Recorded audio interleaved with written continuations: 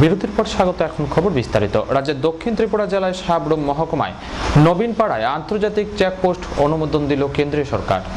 রাজ্যের দক্ষিণ ত্রিপুরা জেলার সাবরুম মহকুমার নবীন পাড়ায় আন্তর্জাতিক চেকপোস্ট অনুমোদন দিল কেন্দ্রীয় সরকার। রাজ্য সরকারের পাঠানো এই প্রস্তাব ভারত সরকারের বর্ডার ম্যানেজমেন্ট মন্ত্রণালয় দ্বারা চূড়ান্ত অনুমোদন দিয়েছে। অনুমোদিত প্রকল্প রূপায়ণ করবে land port authority of India. আজ এই খবর পৌঁছতেই সাবরুম মহকুমার বাসীদের মধ্যে ব্যাপক খুশি পরিলক্ষিত হয়। গতকাল দিল্লিতে ভারত সরকারের গৃহ মন্ত্রকের অধীন বর্ডার ম্যানেজমেন্ট সচিবের নেতৃত্বে বৈঠক অনুষ্ঠিত হয়। ত্রিপুরা সরকারের পক্ষ থেকে বৈঠকে উপস্থিত ছিলেন বিশেষ সচিব কিরণ গির্তে। এই আন্তর্জাতিক চেকপোস্টকে কেন্দ্র করে দীর্ঘ সময় ধরে অপেক্ষমান সাবরুমবাসীর মধ্যে সন্তোষজনক প্রতিক্রিয়া দেখা দেয় এবং ভারত সরকারের প্রতি কৃতজ্ঞতা প্রকাশ করা হয়।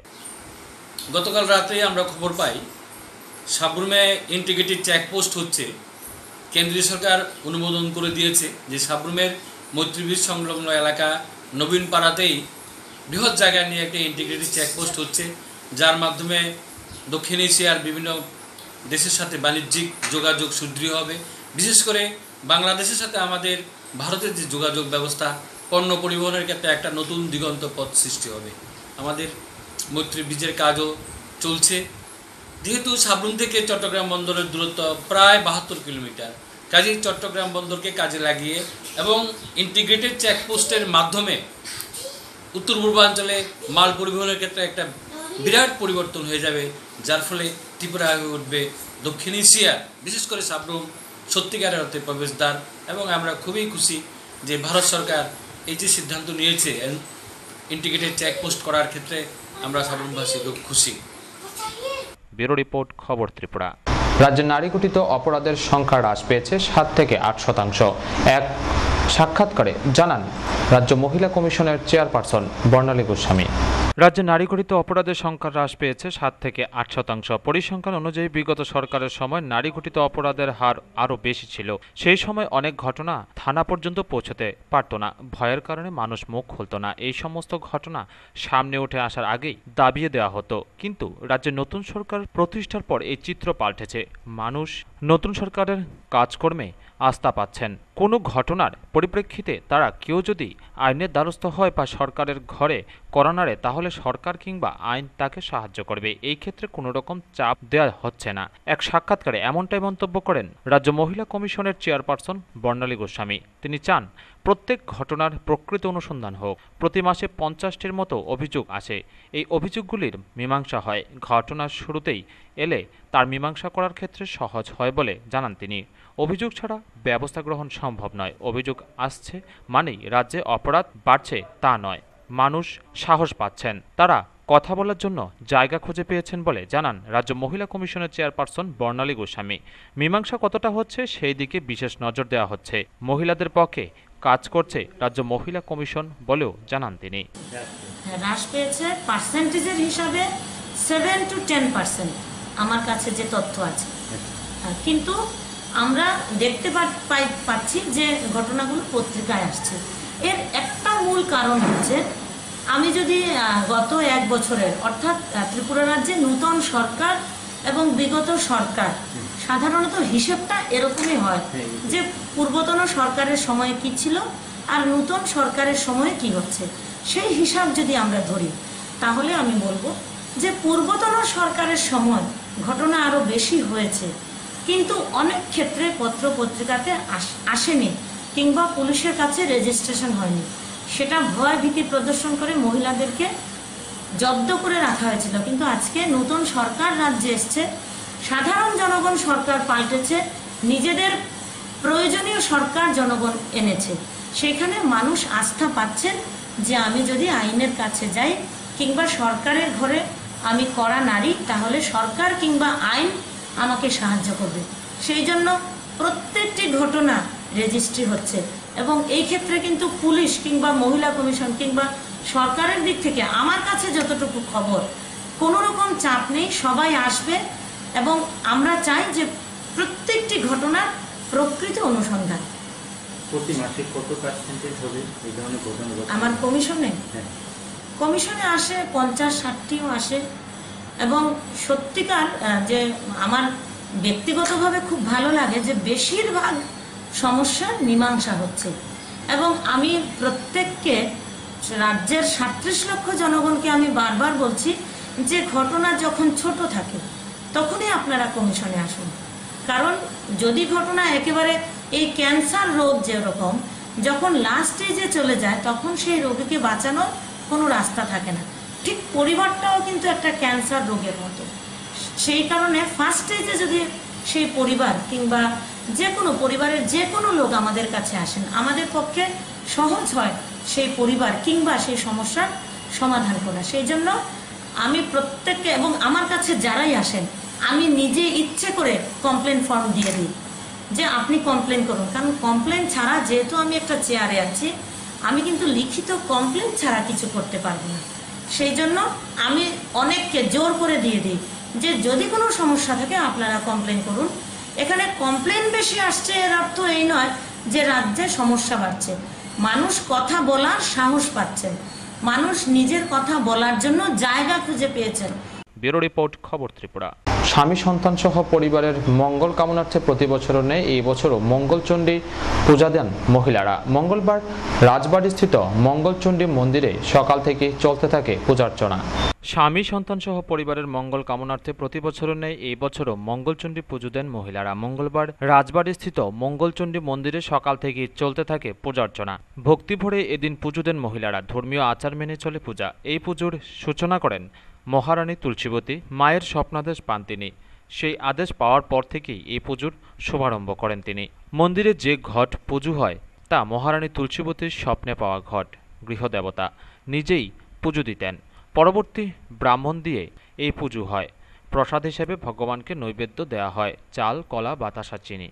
রাজন্য স্মৃতি বিজড়িত এই মন্দিরে আজও সমান ভক্তি ভরে চলছে পুজো। বছরে দুবার এই পুজো হয়, বৈশাখ ও অগ্রহায়ণ। মাসের শেষ মঙ্গলবার হয় মঙ্গলচণ্ডী পুজো। আগে এই পুজোয় মহিষ বলি হতো, কিন্তু দাঙ্গার জন্য মহিষ বলি বন্ধ করে দেওয়া হয়। বিকল্প হিসেবে অন্নভোগের বিধান দেওয়া হয়। সকলের মনস্কামনা পূর্ণ হয় এই পুজোর মাধ্যমে বলে রাজন্য ইতিহাস তুলে ধরে জানান এক প্রবীণ মহিলা। এই পূজাটা সবার মঙ্গলের জন্য, সন্তানের মঙ্গলের জন্য, দেশের মঙ্গলের জন্য, হুম এবং পারিবারিক মঙ্গলের জন্য, সবার মঙ্গলের জন্য, সর্বমঙ্গলের জন্য এই পূজাটা। কিন্তু এই পূজাটা প্রথমেই শুরুয়াত করে মহারানী তুলসীবতী হুম, মহারানী তুলসীবতীর স্বপ্ন আদেশে, মার স্বপ্ন আদেশে এবং মা ওই যে ঘরটা আছে, ওইটা মহারানী তুলসীবতীর পাওয়া ঘর, স্বপ্নে পাওয়া ঘর। যার লেগে এই ঘরটা তুলসীবতী প্রথম পূজা করে। এটা গৃহদেবতা ঘরের মধ্যে উনি পূজা করতেন। কোনো ব্রাহ্মণ দিয়ে পূজা করতেন না। পরবর্তীকালে মানে ব্রাহ্মণদের থেকে মানে সব কিছু নিয়ম নিয়ে নিছে। কিন্তু আমরা এখানে কি মানে প্রসাদের মধ্যে দিয়ে চাল, কলা, অথবা বাতাসা, অথবা চিনি, এই তিনটার মধ্যে দিয়ে যে বানকুল এটাই দেওয়া হয়। মূল ভোগ হইল ওইটাই আর বাকি ফল ফসারি মিষ্টি, ওইগুলি হইল মানে বেস্তি। যা কিন্তু মূলটা হলো এটা তুলসীবতী মহারানী থেকেই শুরু প্রত্যেক বছরই কি এখানে এটা হ্যাঁ? প্রত্যেক বছরে দুইবার হয়। বৈশাখ মাসে আর অঘ্রায়ণ মাসে। অঘ্রাণ মাসের শেষ মঙ্গলবার এবং বৈশাখ মাসের শেষ মঙ্গলবার হয়। এই পুজো উপলক্ষে কি কি অনুষ্ঠান রয়েছে এখানে? মানে এই পুজোতে প্রথমে আগে বলি হতো। মহিষ বলি। নাইনটিন এইটটি টু, এইটটিতে যখন দাঙ্গা লাগে, তখন এরপর থেকে এইটটি ওয়ানে আর মহিষ পাওয়া যায় না। কেউ ভিতরে গিয়ে দাঙ্গার যে গ্রামে গঞ্জে গিয়ে যে মহিষ আনা হবে, সেরকম কোনো ব্যবস্থা নাই। হ্যাঁ কেউ ভিতরে যেতেই চায় না। তখন তারপরেও দুইবার মহিষ আনা হয়েছে। কিন্তু দেখা যায় কি মহিষের মধ্যে খুঁট খুঁট পাওয়া যাওয়ার পরে মহিষ বলি বাদে।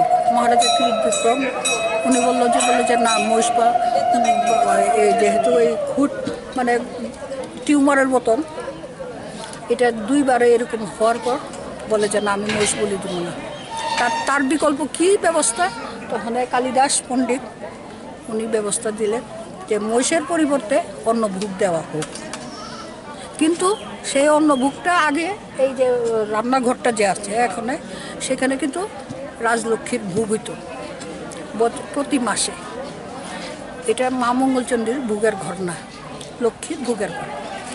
কিন্তু এখন বছরে দুইবার মার নামে ওই প- পরিবর্তে, মহিষের পরিবর্তেই কিন্তু ভোগ দেওয়া হয়, অন্ন ভোগ। এটাই সকলে মনস্কামনা পূর্ণ হয়। তবে তো মা ধীরে ধীরে প্রচারে। তো বাড়ির স্বামী সন্তান বাড়ির পরিবারের সবার মঙ্গলের জন্য আর কি আমরা এই পুজোটা করি সবসময়। সবসময় আমাদের তো বাড়ি কাছেই তো আমরা সবসময় প্রতি বছর মন্দিরে আসি। উদ্দেশ্যটা কি উদ্দেশ্য মার মার কাছে প্রার্থনা করা সবার ভালো সবার মঙ্গল হোক। প্রত্যেক বছরই কি হ্যাঁ চেষ্টা করি সবসময় আসি প্রতি বছর। সংসারের মঙ্গলে স্বামী পুত্র কন্যা সবাই মঙ্গলের জন্যই করি প্রত্যেক বছরই কি? প্রত্যেক বছর প্রত্যেক বছরই আমরা করি। প্রত্যেক বছর মন্দিরে আসি। কি প্রার্থনা করলেন আজকে? এই যে সবার সংসারে সবার মঙ্গল কামনা সবাই যাতে ভালো থাকে আবার যাতে সামনের বছর আসতে পারি। মায়ের ভালোভাবে মায়ের পূজা করতে পারি। ব্যুরো রিপোর্ট খবর ত্রিপুরা। সোমবার সন্ধ্যা রাতের ঝড়ো হাওয়ার বিদ্যুৎ পরিবাহী লাইন থেকে আগুনের ফুলকি পড়ে ক্ষতিগ্রস্ত এলাকাবাসী। ঘটনা চন্দ্রপুর জামতলার বৈদ্যবাড়ি এলাকায়। রাজ্যের বেশ কিছু স্থানে সোমবার সন্ধ্যা রাতে ঝড়ো হওয়ার সঙ্গে হালকা বৃষ্টি হয় আর এই ঝড়ে সবচাইতে বেশি ক্ষতিগ্রস্ত বিদ্যুৎ সরবরাহকারী লাইন। বিদ্যুৎ পরিবাহী লাইন থেকে আগুনের ফুলকি পড়ে ক্ষতিগ্রস্ত এলাকাবাসী। একই সঙ্গে নষ্ট হয়েছে বেশ কিছু পরিবারের বৈদ্যুতিন যন্ত্রাংশ।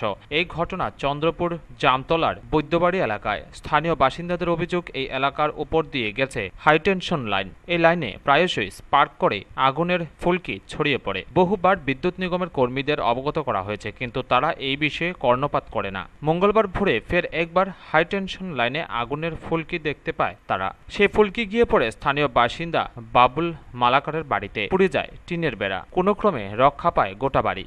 তবে এই ঘটনায় তার এক ছেলের হাত কেটে যায়। আগুনের ফুলকি পড়ে, পুড়ে গেছে মেয়ের হাতের একটা অংশ। নষ্ট হয়েছে বিদ্যুতের মিটার। ফ্রিজ, টিভি সহ বহু যন্ত্রাংশ। বিদ্যুৎ নিগমের কর্মীদের খবর দেওয়ার পর তারা সময় মতো না আসায় ক্ষোভ বাড়ে স্থানীয় বাসিন্দাদের মধ্যে। এই ঘটনায় আশপাশের আরও বেশ কয়েকটি বাড়ির সামগ্রী নষ্ট হয়েছে। তাদের ক্ষতিপূরণ দেওয়ার দাবি জানিয়েছে স্থানীয় বাসিন্দারা। কালকে অনেকক্ষণ তুফান আসছিল ছয়টার থেকে। তুফানের পরে আমি ফোন করছিলাম কারেন্ট অফিসে ফোন করছি বড়দা, অনেকক্ষণ ধরে লাগাতর, দেড় ঘণ্টা লাগাতর বিজি বিজি আইতেছে। তারপর সাড়ে সাতটার দিকে ফোনটা ধরছে তা আমি জিজ্ঞাসি যে এরকম বড় একটা বিপদ হয়েছে চন্ডুর জামতলা দিয়েছি রে আপনারা ফোনটা বিজি কেন গিয়া ক আমার কাছে দুইটার থেকে বিজি আমার মোবাইলে ফোন আইতেছে দুইটার থেকে কারেন্ট অফিসে আমি বলছি এতক্ষণ ফোন আপনার কাছে? দুইটার থেকে সাতটা রাত্র সাড়ে সাতটা পর্যন্ত আপনার কাছে বিজি থাকে। আপনি কি কি ডিউটি করতেছেন আপনি? কখন আপনার লগে তাহলে এরকমভাবে কোনো কথা দিত না। তাই ফোনটা রেখে দিয়েছে নেক্সট টাইম কল করছি বড়দা আবার নয়টার সময় কল করছি। আবার যখন ফায়ারিং হয়েছে না আগুন ধরছে বড়দা তারা কইছে "হ, ঠিক আছে কল লিখছি। দশটার সময় আইব তো দশটার সময় এসে আইসা না, আজকে আবার ইয়ে করছি বড়দা। ইয়ে আবার ফোন করছি, কইছে, বিজি। আইসা না, তারপরে আবার ফোন করছি বড়দা, এরপর দা কারেন্ট অফিসের লোক আইছে। তা আইসা দেখি এরম অবস্থা এর মধ্যে। ছোট বাচ্চাটা, মেয়েটার কুলে। মেয়েটা সুইচটা দিতে মেয়েটা সকাল বাড়ি দিচ্ছে বাচ্চাটার কি অবস্থা? তখন আপনি দেখলেন কালকে সন্ধ্যার সময় যখন যখন এটা ব্রাস্ট মারছে ফায়ার হয়েছে তখন বাচ্চারা চিৎকারে ঘরে রাখতে পারতেছি না। এ করে ছয়বার হয়েছে ছয়বার পরে আমি মাসির কাছে বাচ্চাটা দিয়ে দিচ্ছি পাস করে, টিন পাস করে টিনের ভিতরে পড়া মাত্রে আবার টিনে আগুন ধরে আছে। এসব ঘরে তো ধরতেছে ছাদ করে উঠছে ঘরের ভিতরে আগুন ধরে উঠছে। যাক সবাই মিলে থাপাই থুপাই নিবেছি এরপর আবার আজকে সন- সকালবেলা যখন হয়েছে তখন আমার বাচ্চাটা বাচ্চাটা ওই মেয়েটার কুলে যে ফিসিমুনির কুলে বাচ্চাটা। দিতে দেরি মানে ফিসিমুনি তো আমি দেখে আমার শুলে কাপ কালো হয়ে গেছে পুরো হাত ফুইরা বাচ্চাটা আর বাচ্চাটা তো চিৎকারে এর কাকা কুলে রয়েছে থামাইতে পারতেছে না।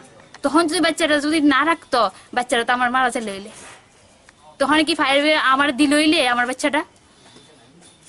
তার যখন বার্তা লইয়া গেছে তখন ব্লাস্ট হয়ে গেছে হয়ে যাওয়ার পর আমি সামনে তার কুচ্ছি তো না আগুনের মতো। এরপরে আমি বারটা আমার খান থেকে আলাদা গেছে তারপরে আমি আর উস নাই।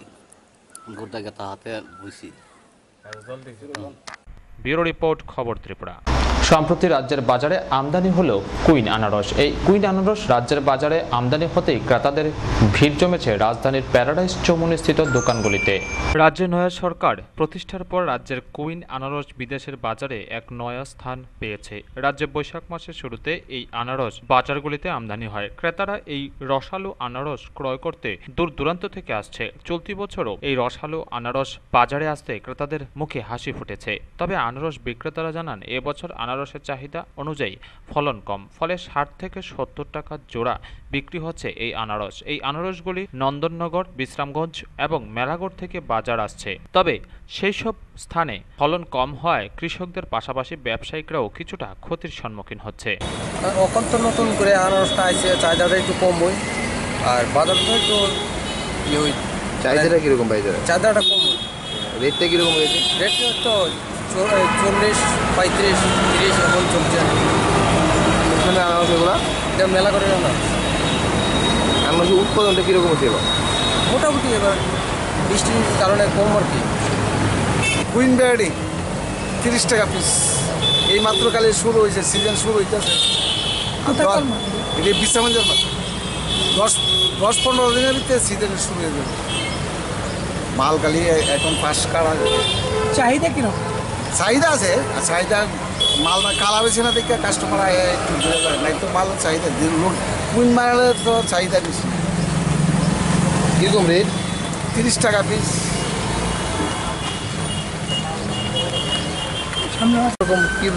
কীরকম চাহিদা ওখানেও পুরা বাড়িছে না। ওনা বাড়িছে যে অল্প অল্প বাড়িছে রেট তিরিশ টাকা পঁচিশ টাকা।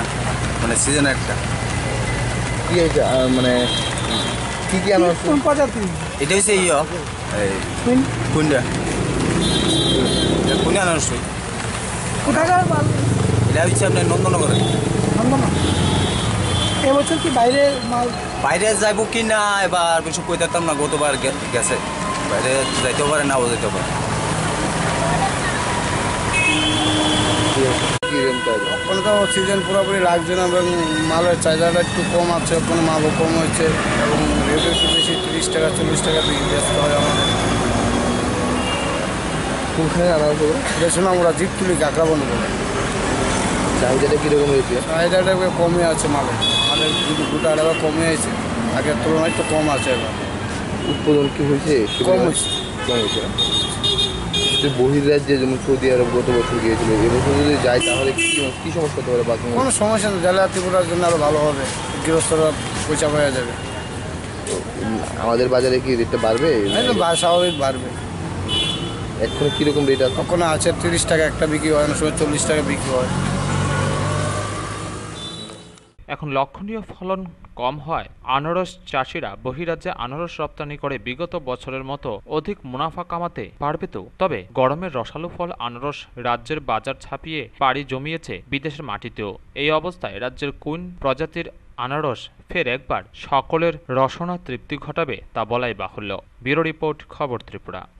খয়রপুর, রাজারবাদ এলাকার এক নারীর উপর বর্বরচিত ঘটনার তীব্র নিন্দা জানালেন মহিলা কমিশনের চেয়ারম্যান বর্ণালী গোস্বামী। সম্প্রতি খয়রপুর, রাজারবাদ এলাকায় এক নারীর উপর মধ্যযুগীয় বর্বরতার মতো কাজ করে রেহাই পেয়ে যাচ্ছে অভিযুক্তরা, যার দরুন ক্ষোভে ফুসছে এলাকাবাসী। জানা যায়, গত পয়লা মে খয়রপুর, রাজারবাদ এলাকায় এক নারীর উপর এলাকার কয়েকজন পুরুষ, মহিলা মারধর এবং বিভিন্নভাবে নির্যাতন করে। পরে বোজ্জং থানায় নির্যাতিতার পক্ষ থেকে একটি মামলা রুজু হলেও পুলিশ অভিযুক্ত পাঁচজনের মধ্যে তিনজনকে জামিন দিয়ে দেয়। যার দরুন এলাকাবাসী ক্ষোভে হচ্ছে এ বিষয়ে মহিলা কমিশনের চেয়ারপারসন বর্ণালী গোস্বামী জানান, প্রয়োজনে পুলিশ তাদের পুনরায় ডাকবেন। এই ধরনের ঘটনার তীব্র নিন্দা জানিয়ে বলেন, পুলিশ দেখবে ঘটনার সত্যতা তদন্ত করে। কিন্তু সেই অভিযুক্তদের মহিলার উপর পরকীয়া ঘটনার দোষ চাপিয়ে দিয়ে অত্যাচার করা ঠিক হয়নি বলে জানান তিনি। এ ধরনের ঘটনার তীব্র নিন্দা জানান তিনি। যখন মহিলা নির্যাতনের পর আমাদের প্রতিনিধি আমরা পাঠিয়েছি এবং সঙ্গে সঙ্গে কিন্তু পুলিশও কেসটি নিয়েছে। পত্রিকাতে যেভাবে এসছে ঘটনাটি, সেটি কিন্তু সঠিক তথ্য পত্রিকাতে আসেনি। কেন আসেনি আমি সেটা পরবর্তী কথা। কারণ গতকালকেও সেই মেয়েটির সাথে আমার কথা হয়েছে। আজকে সকালেও আবার মেয়েটির সাথে কথা হয়েছে। আমি ওকে জিজ্ঞেস করেছি যে আজকে আবার জিজ্ঞেস করেছি যে, তুমি বলো তো তোমার সাথে এরকম পুলিশ কোনো কেস নিতে চায়নি বা এরকম কিছু বলল না, এরকম কিছুই না।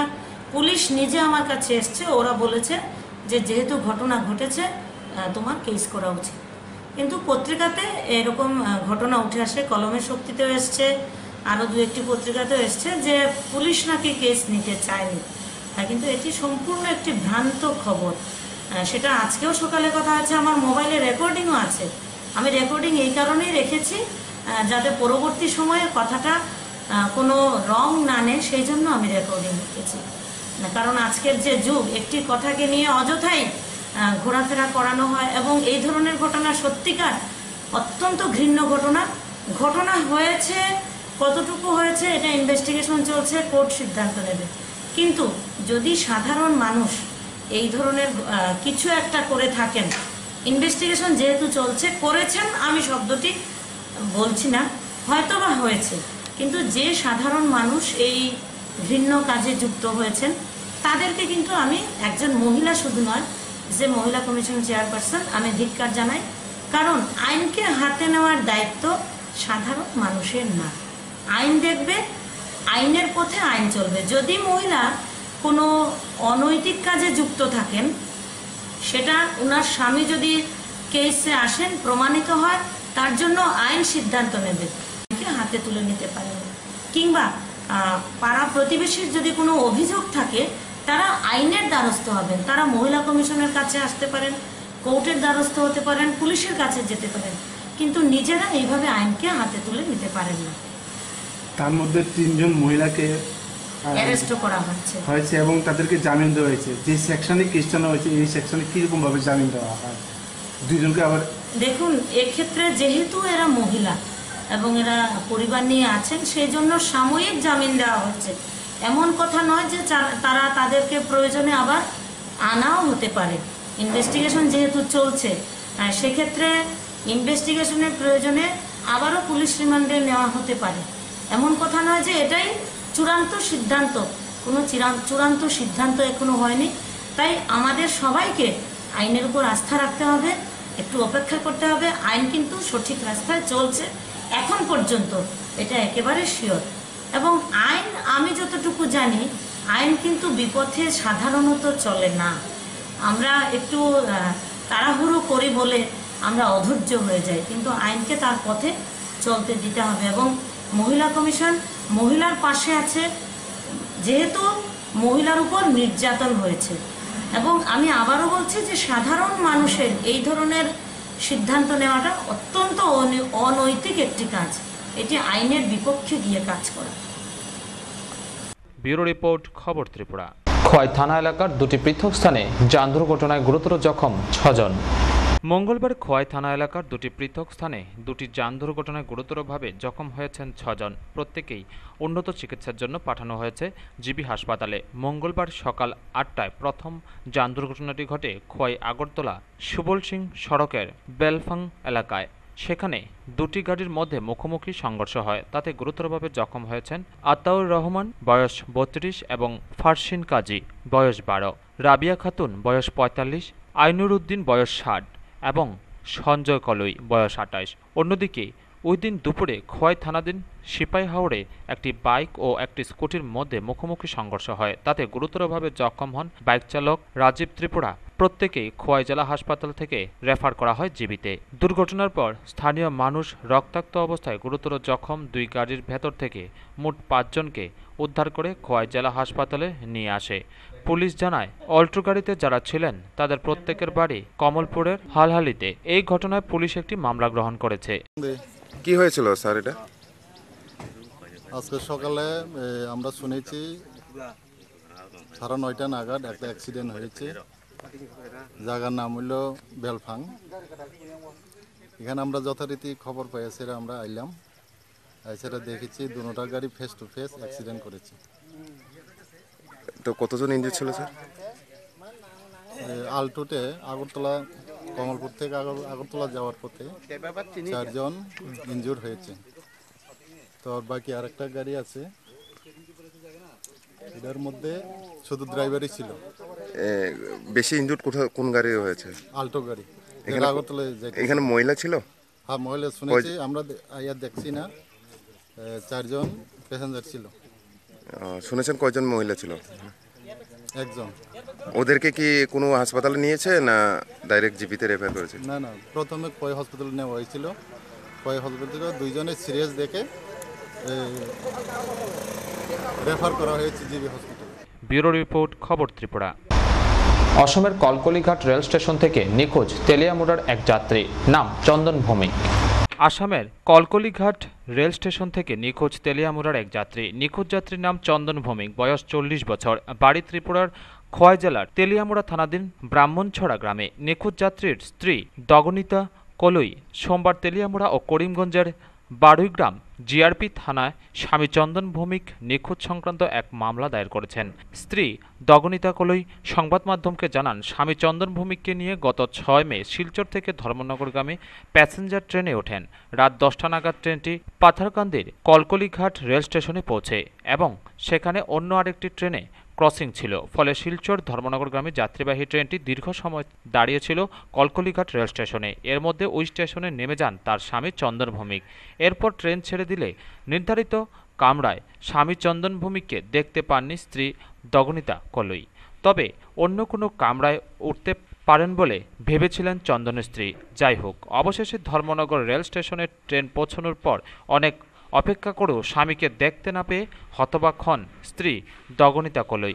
এরপর থেকে বিভিন্ন স্থানে তথা আত্মীয় স্বজনের বাড়িতে স্বামীর সন্ধানে খোঁজ খবর নেন তিনি, কিন্তু কোথাও স্বামীর সন্ধান পাননি।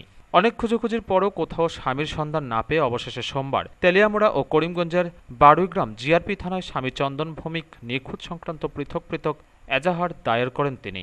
উল্লেখ্য নিখোঁজ চন্দন ভৌমিকের পরনে রয়েছে কালো রঙের ফুল প্যান্ট ও ফুল চেক শার্ট। গায়ের রং শ্যামলা উচ্চতা পাঁচ ফুট তিন ইঞ্চি। শিলচর থেকে ধর্মনগর যাওয়ার পথে তখন কোলগুলিঘাট স্টেশনের মধ্যে ট্রেনটা থামছিল। থামার পর ট্রেনটা কোন জায়গার ছিল? ট্রেনটা ধর্মনগরে শিলচর থেকে ধর্মনগরে যাওয়ার পথে। হ্যাঁ। তখন কোলগুলিঘাটে ট্রেনটা থামছিল। সেখানে ওনার স্বামী ট্রেন থেকে নেমে গেছে। নামার পর ট্রেন দিছে সাইরা তারপর খোঁজ পাওয়ার গেছে। স্বামী কি পাওয়া গেছে না? তো পরবর্তী কি করছেন? পরবর্তী আমরা তেলিয়ামুড়া থানাতে আমরা জিডি করাইছি হ্যাঁ। তারপরে আসাম আমরা জিআরপিতে আমরা রিপি- উম, পাতারকান্দি হ্যাঁ হ্যাঁ। এসব জায়গাতে আমরা রিপোর্ট তারপরে আমরা এর আগে আমরা এই স্টেশনে স্টেশনে যে খোঁজখবর করছি আপনার এদিন সঙ্গে কে কে বা কারা ছিলেন? ওদের সঙ্গে ওনার স্ত্রী তারপরে ওনার শ্বশুর ওনার শ্বশুর বাড়ি আত্মীয় স্বজন। কয়জন টোটাল ওনার সা- ওনার সাথে টোটাল তিনজন ছিল। স্বামীর খোঁজ খবর এখনও পাওয়া যায়নি? এখনও কোনো পাওয়া যায় ব্যুরো রিপোর্ট খবর ত্রিপুরা।